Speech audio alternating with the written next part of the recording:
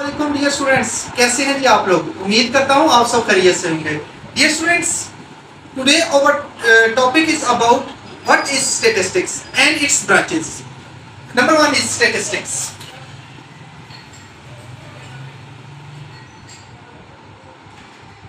what is statistics? Here is uh, let's discuss about the statistics. It's too uh, we can say that when we uh, will study about the statistics the one you can say that's a clue about the statistics o i it is too easy for this if you will uh, keep in mind that what is OI, it will be easy to uh, comprehend this. You can say that number one is it. Is, uh, first, we will discuss about the statistics. It is it concerned with the data collection. It concerned. It is the art of learning data. Art of learning data.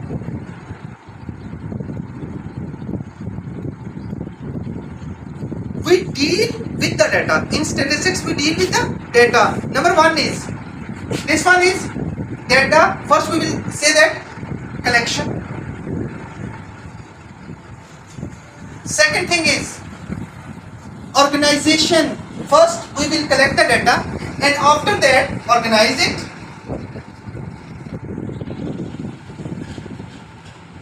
And third one is analysis. Third one is analysis. Analysis. And fourth one is after analysis, we will interpret that.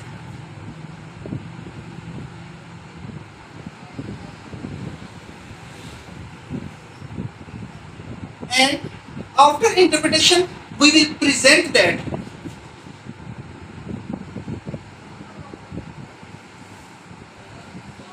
presentation. Okay, ji. Uh, let's discuss about what is statistics. If uh, someone given you a task about that, uh, you will collect the data from the from the farm or uh, university or school or colleges. The first thing is someone giving you the task. Then you will first you will collect the data, and after that organize it. And after organization, uh, you will like deal with the uh, analysis. The analysis are like T, test, Z test, uh, mean, standard deviation, standard error, such type of things. Uh, like we apply the techniques in the analysis, and after that, uh, the technique has been applied, and after that, we will uh, interpret that result. What is the result of that? Uh, the what the uh, task uh, given to you you will apply that and after that you will present to that firm organization or any uh, other thing that, uh, that given to you so here is the statistics now uh, there are two branches of statistics number one is descriptive statistics number one is descriptive statistics number one is descriptive statistics. And second one is inferential statistics. Second one is inferential statistics.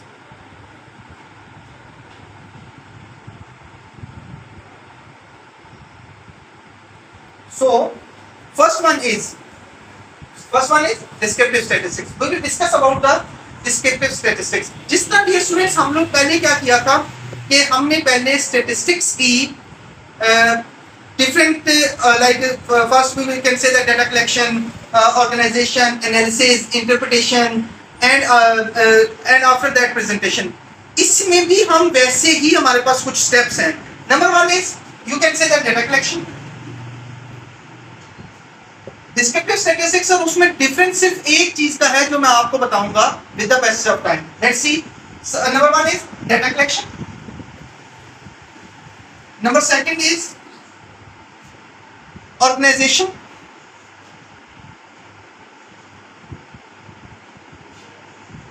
third one is classification third one is classification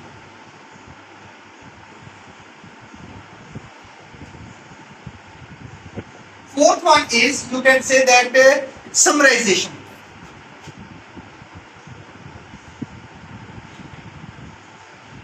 summarization after summarization the last one is presentation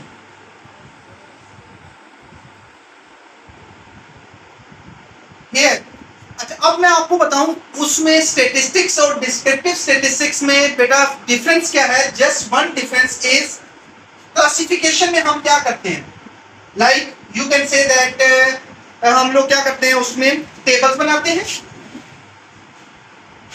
Tables graphs charts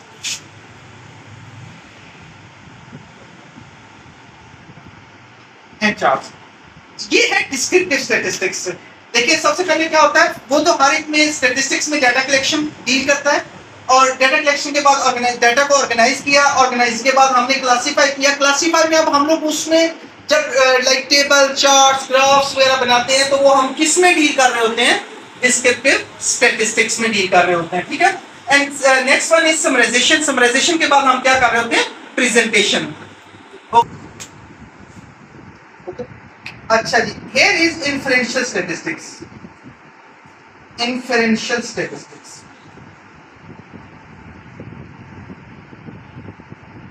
influential statistics में हमारे पास क्या होता है जी? देखिए, इसमें हमने like tables बनाए graphs बनाए चार्ट्स बनाए। ये स्टूडेंट्स इसमें हम लोग क्या करेंगे? इन्फ्लुएंशियल स्टेटिस्टिक्स में हम it refers to the it refers to the arriving at a conclusion इसमें हम किस चीज़ पे जाते हैं? Refers to the arriving at a conclusion.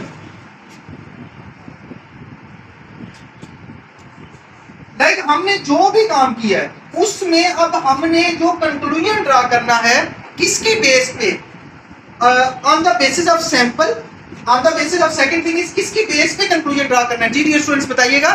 Sample की बेस पे हमने based on sample based on sample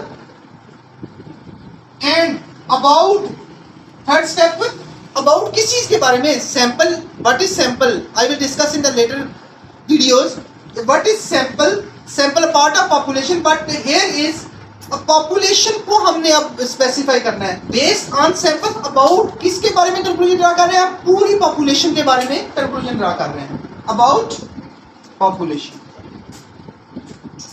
ये हमारे पास इन्फ्लुएंशियल स्टैटिस्टिक्स है। Refer to the arriving at a conclusion हम मतलब कंक्लूजन ड्रा कर रहे होते हैं। किसकी बेस पे? देखिए जी, हम लोग refer to the arriving at conclusion based on sample sample की बेस पर अबाउट द पॉपुलेशन पूरी पॉपुलेशन को, क्योंकि सैंपल से हम डेटा कलेक्ट कर रहे होते हैं।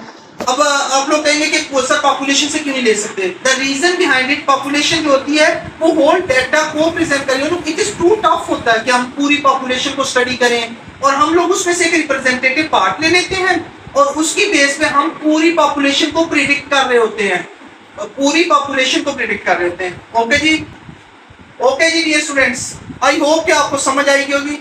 अपना बहुत सा ख्याल रखिएगा, दोनों में याद रखिएगा। अल्लाह हाफिज।